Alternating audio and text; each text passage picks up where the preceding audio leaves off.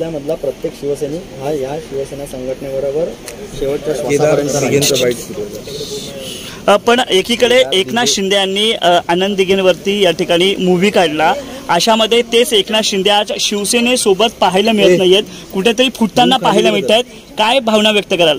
मी तेच म्हणतो की हे दुर्दैव आहे की एकनाथजींसारखा ज्येष्ठ नेता ज्यांनी संघटनेमध्ये एवढी वर्ष घालवली त्यांच्या मनामध्ये कुठेही प्रकारचा किंतू परंतु होता तर महाराष्ट्राचे जे हे उद्धवसाहेब जे आहेत ज्यांना आपण पक्षप्रमुख किंवा आपलं कुटुंबप्रमुख म्हणतो यांच्याबरोबर बसून जर का त्यांनी हा जे काय किंतू परंतु किंवा वादविवाद असतील ते जर का बसून काढले असते विषय जर का चर्चेला आणला असता तर ह्याच्यामध्ये नक्कीच मार्ग निघाला असता एवढी टोकाची भूमिका घेण्याची त्यांना काही गरज नव्हती असं मला वाटतं. त्यांचं असं म्हणणं होतं जे आनंद दिघेंचं हिंदुत्व होतं किंवा बाळासाहेबांचं हिंदुत्व होतं ते आता कुठे कुत्रा पाडता दिसत नाही आणि जे शिवसेनेचे मंत्री किंवा आमदार आहेत त्यांना महाविकास आघाडीमध्ये गाडीची किंमत नाही त्यामुळे त्यांनी पाऊल उचललं असं. नाही मला असं वाटतं की जर का ह्या पद्धतीची जर का भूमिका त्यांची होती तर जेव्हा संघटना ह्या सगळ्या गोष्टीला पहिल्यांदा गेली म्हणजे अडीच वर्ष अगोदर त्यावेळेला ही भूमिका त्यांनी मांडायला पाहिजे होती. अडीच वर्षानंतर अशी भूमिका मांडणं हे अयोग्य आहे.